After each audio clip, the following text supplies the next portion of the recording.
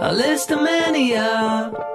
Think less but see it grow like a